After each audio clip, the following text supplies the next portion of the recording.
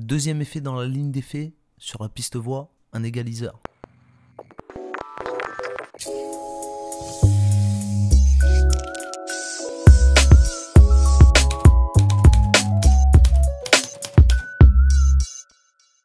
Un EQ ou un égaliseur, un equalizer. Alors ça c'est vraiment la base. hein. Le son c'est des fréquences avec euh, des volumes à chaque fréquence. Tous les sons c'est ça en fait. Et ça varie dans le temps.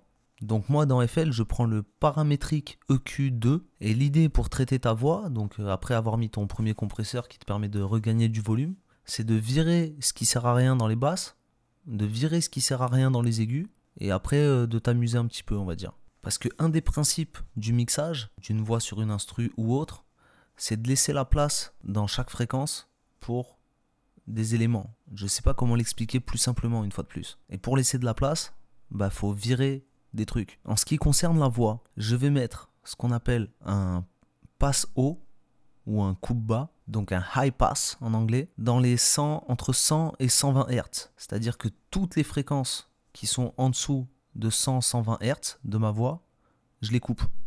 Assez sec d'ailleurs, pour bien me rendre compte de ce que je fais. Après, on peut adoucir, mais pour l'instant, la base, c'est de couper sec en dessous de 100-120 Hz. Donc, je vous invite à aller voir des tutos sur euh, le paramétrique EQ2 dans Fruity Loops ou euh, d'autres égaliseurs, quels qu'ils soient, pour comprendre ce que c'est qu'un passe haut ou coupe bas, c'est la même chose, pour virer les fréquences du bas, ok? Et moi, je vire en dessous de 100-120 Hz. Ensuite, pour les hautes fréquences, c'est plus chaud de les couper parce que ça va plus vite s'entendre et ça va plus vite être moche quand tu les enlèves. Donc ce que je fais, c'est que je laisse le high shelf qui est de base dans le point 7, qui est celui des aigus, tout à droite, dans le paramétrique EQ2. Je laisse le paramètre de base.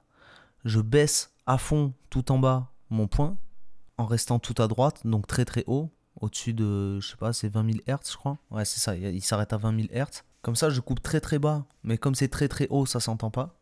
Ensuite, je descends euh, au niveau des fréquences et je fais un peu comme avec le compresseur, c'est-à-dire qu'à l'oreille, j'écoute quand ça commence à agir. Et en général, c'est entre 11 500 et 13 000, 12 000, 13 000, dans ces eaux-là. Et une fois que j'entends que ça commence à agir, je remonte mon point pour adoucir ce truc que je coupe en fait, les fréquences que je coupe en haut. Je le remonte à mi-hauteur en fait. Donc ça fait que ça coupe quand même pas mal, mais moins que si c'était tout en bas, moins que si c'était un, un coupe haut par exemple, qui est l'inverse du coupe bas qu'on a fait tout à l'heure. Ça, une fois qu'on a fait ça, on a viré le gros des fréquences du bas qu'on voulait pas, des basses, et le gros des aigus qu'on voulait pas.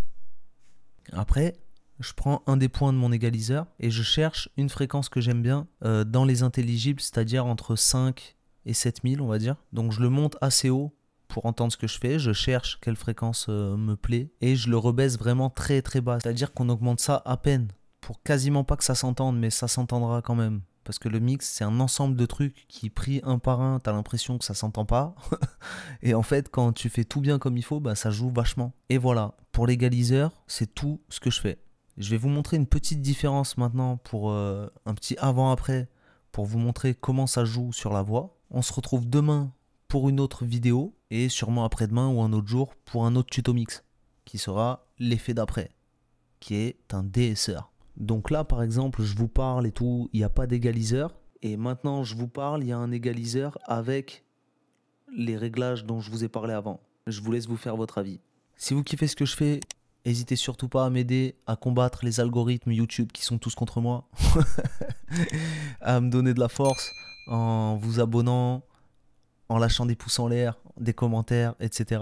Prenez soin de vous les gens. C'était Bags. Peace.